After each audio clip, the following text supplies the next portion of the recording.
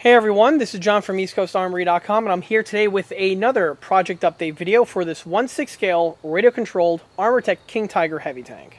And since the last video update, the model is finally in paint. And I have been waiting to say that sentence for a really, really long time. But as you can clearly see, the model has been entering into its painting process. The primer has been added, the base coat has uh, been added, and the next step from here is going to be the camouflage, but we'll be touching upon that as the video goes on.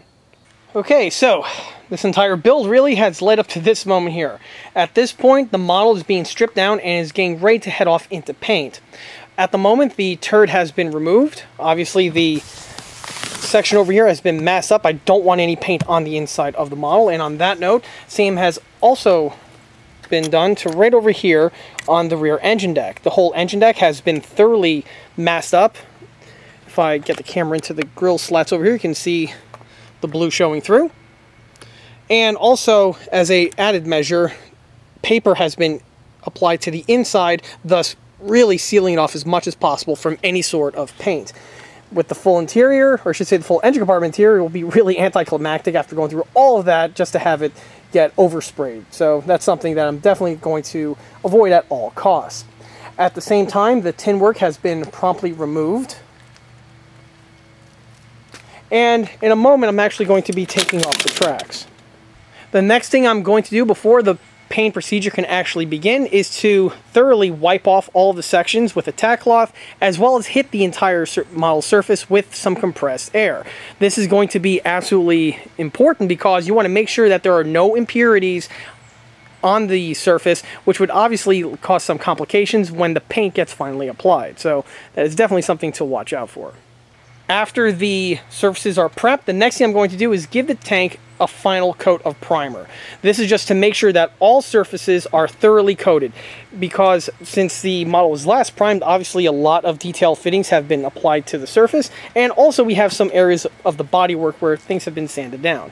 I always like to have the primer be as pure as possible so that once the model is thoroughly coated, then it will give the best chance possible for the, the actual base coat to adhere and adhere fully.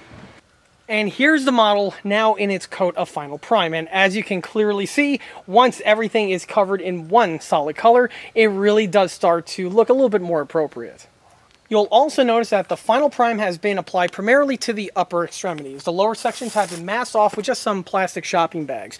This is because the lower sections have already been thoroughly primed, painted, and also weathered for the reasons that I touched upon in many other videos, and that's, well, frankly put, good luck trying to paint interwoven wheels like this once everything is fully assembled. I know some nut jobs out there like to do that on their smaller scale builds, and a few crazier people want to think they could pull it off on a 1-6 scale tank like this, but that is just crazy talk. If you're building any sort of tank model, regardless of the scale, paint the wheels separately prior to installation. And on an RC tank like this, it's actually double important.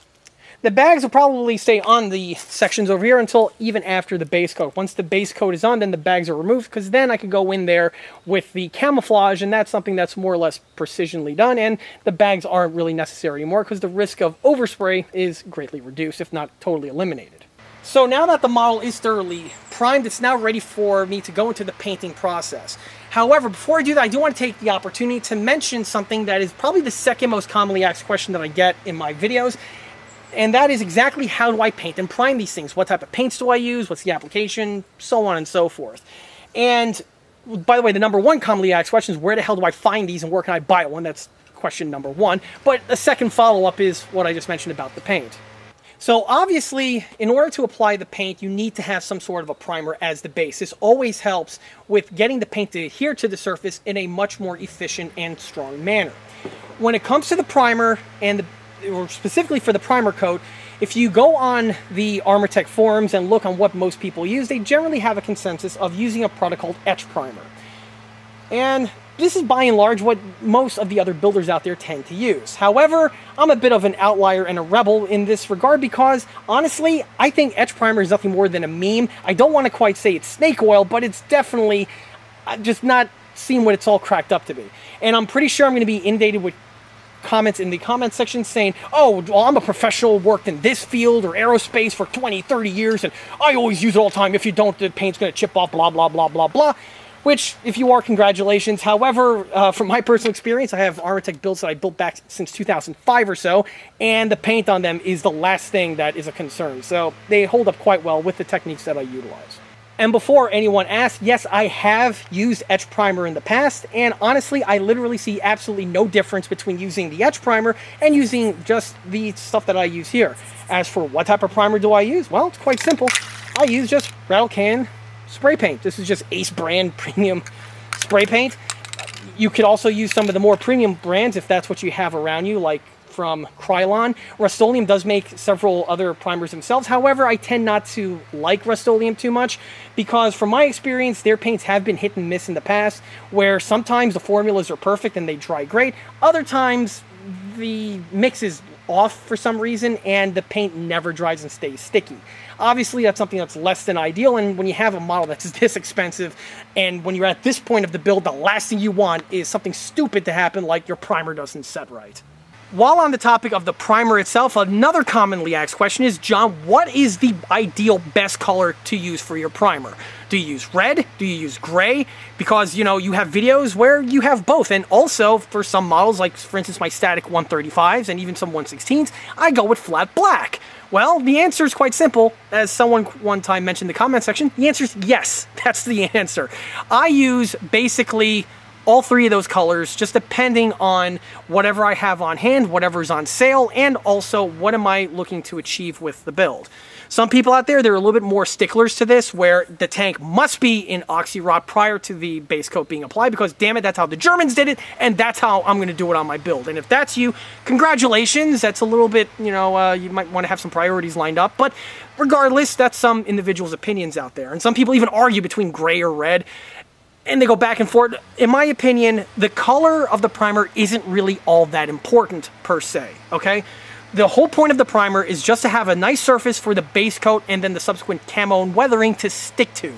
That's really all there is to it. So the color itself isn't really all that important outside of personal preferences for most individuals. For me, it's again just depends on what's on sale and what's more plenty available at a certain time. Occasions, I'll have lots of red on hand. Occasionally, I'll have lots of gray, and I'll just use the two colors intermittently. Which, if anyone is a fan of this video series, you will note that on the duration of the build, when I'm priming certain items, I've used all three colors from time to time. However, for the final prime, I tend to generally stick with all red, just for, you know, one reason or another. It's nothing really specific or all that special. It's just, I don't know, it kind of looks all nice and red on video. But same could also be true for gray, but I just had a lot of red on hand, so that's why I went with it. The color of the primer really doesn't matter, like I said before, unless you're doing something specific with the paintwork. And what I mean by that is if you're doing a build where it's like a last ditch, where you have, you know, the hull and the turret are two different colors and the turret is all left in red primer, then obviously the color choice is going to be more relevant. Another time when the color of the primer is relevant is if you have a tank with Zimmerit coating on it and you want to have sections of the Zimmerit chipped off when it shows the primer color underneath. That is obviously also a situation where perhaps the color of the primer is going to be relevant for your build. So take it from me, the color of the primer is more or less irrelevant. It could be red, it could be gray, it could be black with polka dots. As long as you have something on the surface for the main base coat and the subsequent paintwork to adhere to, that's what's really important. Okay, so the black and polka dots is a bit far-fetched, but you get the idea. Either go with red, go with gray, and if you're just painting the build traditionally, i.e. not doing anything funky with the weathering or anything special with the paintwork, more or less, the primer coat is irrelevant. Case in point, here we have the turret, which has been mostly reprimed with the single color. However, you'll notice at the front barrel section, I just left with the gray color from earlier on, because again, the paint on here is pretty thoroughly applied, hasn't been scratched off or anything, and the main base coat's going to adhere absolutely perfectly. So putting paint on this section over here, it's really irrelevant. Also, since this does have a recoiling feature, if you add more layers of paint on here, it's going to thicken it up, and it's just going to lead to more issues. So with all that out of the way, it's now time to get into the application of the base coat. For the base coat on this one, I'm going to go with German Dunkelgelb, which is quite customarily seen on many of my German builds, unless it's an earlier vehicle, to which then I usually go with Panzer Gray. Well, anyway, for the paint, again, this is another really commonly asked question that I get is, what type of paints do you use on these things? And for me, I use exterior latex house paint. This is the type of paint that I've painted not just my 1/6 scale models with, but it's also seen on my 116s and also on my 135s. While on the topic of the actual paint usage, there is some individuals out there that like to have this misconception on what type of paints used on a model like this. Because it's all metal, they think, well, you know what, it should be painted with car paints. And unfortunately, a large number of individuals out there tend to paint their Armortek tanks with car paints. And honestly, I've yet to be impressed with anyone that has ever done that. It is by far the absolute worst medium ever to paint your, your model tank with. It looks terrible. It doesn't look good. It doesn't blend well, and the airbrushing on top of it makes it look even worse. Avoid that stuff like the plague. I've yet to meet a, or I should say, I've yet to come across a Armortek or any 1/6 scale tank build that has been painted with car paints that looked remotely satisfactory. Every one of them was a, an abysmal dumpster fire. So avoid that medium at all costs. As for the paint itself, like I mentioned before, it is just nothing more than exterior latex house paint. It's flat. You always want to go with flat. Avoid semi-gloss, avoid gloss. That is another common misconception on how to paint these things. Flat is the way to go.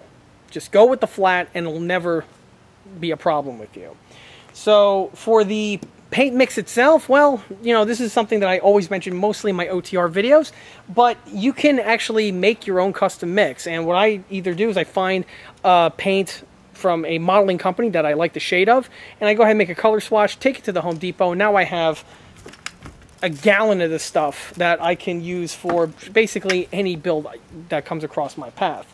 For my Dunkelgelb, it's basically to me, a dark yellow. I always did like the way that shade of of Dunkelgelb looked, and my mix here is pretty much Tamiya Dunkelgelb, but in a gallon format. And obviously, if you're building a 1/6 scale tank, you're going to be going through a lot of those little bottles of Tamiya, so specifically for the base coat. So yeah, I recommend trying to see if you could make a clone of it in a format that gives you lots and lots of volume. For the application, I am going to be utilizing the spray gun, and this is the spray gun I have over here. This is actually the first time I use this this setup. This one here, I picked it up from Harbor Freight uh, about a year or so ago because it was like, why not? The thing was like 12 bucks or so, so they're basically giving them away. And I might as well add it to my, my little toolbox. Normally, I do have a slightly larger spray gun, but for some reason, I can't really find it in the shop. So when that eventually turns up, you know, I'll go ahead and clean it out and, and use it on another build. But for this one here, I'm going to try out this new Harbor Freight Special. For uh, the application of the base coat, the spray gun, in my opinion, is the best way to go because you need to cover a larger volume of the model surface as opposed to using an airbrush. Now, of course, you can easily do the same technique with an airbrush and it'll work just fine. It's only, it's going to take a lot longer and you're going to have to top off that little bucket of paint quite frequently. What I like to do is for the main base coat, I roll with the spray gun. Then for the precision paint applications, say, you know, there's undercuts or some other type of area that I can't really get access to easily with the spray gun, that is when I use the airbrush because it's more precise. I am I'm able to get the paint where it needs to go, and most importantly, with the correct volumes to prevent drips. Drips is your enemy. You don't want to have drips on your paint job, and that goes for all these models, not necessarily just the big ones. So for the main overcoat, spray gun. For the in-depth precision areas where the paint needs to go, I use the airbrush. Also at this time, I'm going to cast shade on a very popular and commonly used modeling painting technique, and that's in the terms of counter shading. There's this technique out there where you have the model painted with a light gray, or sometimes I've even seen people do it with bare exposed plastic, which is just mind-numbingly stupid. That's just, I hate that technique. But anyway, you have a gray, a light gray painted object, and then with the airbrush you go and you airbrush thick, flat black edging around the sections. Then, with several thinner shades of the base coat, you apply it in layers, and then that'll give you the counter shading. And I hate that technique. It's a terrible technique. I don't like that technique. The way I like to build my models is I paint the model with the opacity first, and then the weathering and fading gets added naturally, much along the lines as it would in real life. If you do that technique where you add thin layers on, it's not really gonna work. I mean, it does work. Some people like it. They swear by. it. I can't stand it for a simple fact that you can't really maintain it. If the model gets scratched, and by the way, this is a radio control tank. It's 1 6 scale, which means it's going to be handled quite a bit when you just move it around. And on top of that, since it is radio controlled, you're going to get scratches. It's going to happen. Good luck trying to blend that in. It's just way too problematic. It's just a terrible technique. And then you have to, you know, apply camouflage over it. And then sometimes you have to redefine the camo pattern. If you don't like the blotches, now you have extra opacity on it down it goes downhill really really quickly. I hate that technique. It'll be a cold day in hell you ever see me incorporate that on any of my builds let alone a 1 6 scale one. To dilute the paint this is done with just straight up tap water. I don't use anything fancy like any other types of alcohols or specialty type thinners. Just straight up tap water, it's all that you need. As for the consistency, well, like I mentioned in the OTR videos, this is more or less done by feel and experience. And after you've practiced enough times, you basically can just look at the paint getting poured and you'll know whether or whether or not it's too thick or it could use a few drops of water to thin it out. Okay, so here you can see the tart and the hull getting its base coat of Dunkelgelb. The hull has about two coats on it so far. The turret just got its first prelim coat. And then once the paint sets and dries for a little bit, then I'll go ahead and add probably another coat or two to each, just to make sure that the base is nice and thoroughly applied. You don't want the paint obviously to be too thick, but you don't want it to be too thin either. Again, so you want to find that nice happy medium, and uh, just roughly about two, maybe three coats max is generally how much it takes to get one of these models thoroughly painted. So after the last couple coats of the base are applied, this is the end result. As you can see, the model is looking really, really, really good. Also at this time, I was able to remove the mask on the turret ring, and I was able to plop the turret into place. With the turret on, this will definitely help with the camouflage pattern, which is the next thing that's going to be applied to this model. However, before I continue any further, might as well take a quick little impromptu walk around because it's really nice to see this model finally in a single color as opposed to the mix and match that this thing has looked for far too long. And really, at the end of the day, all of those tips and techniques and replacements and changes and tweaks, all that stuff is just for the result that you have right here all in all, I definitely say I think it was worth it.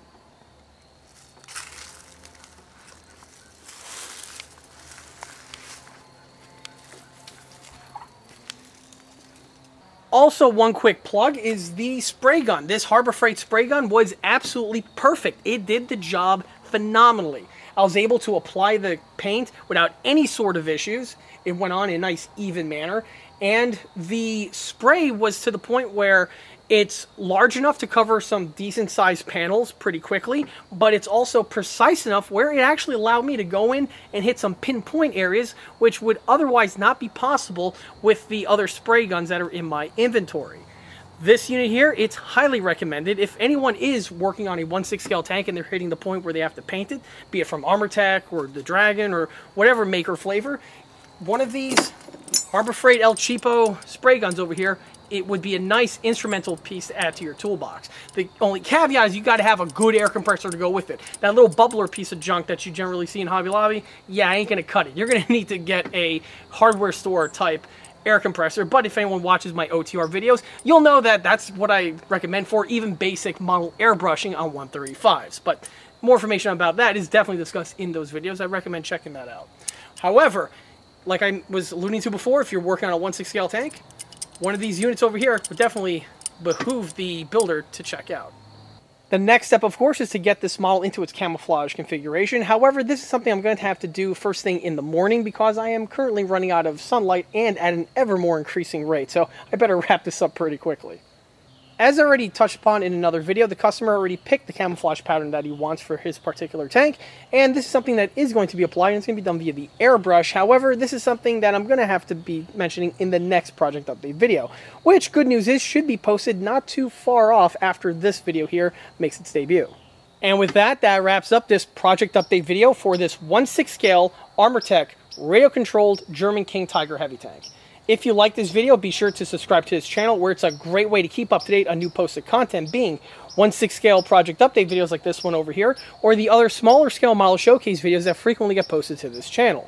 Another way to keep in loop new posted content is by liking us on Facebook. There, I have more photographs of this particular build that have been posted since the project start, as well as photographs of the other larger and smaller scale builds that have been seen on this channel. Furthermore, don't forget to swing by eastcoastarmory.com for more 1/6 and 1/16 scale builds and detail components. Thanks again. I'll be seeing you all again shortly on the next one. Till then.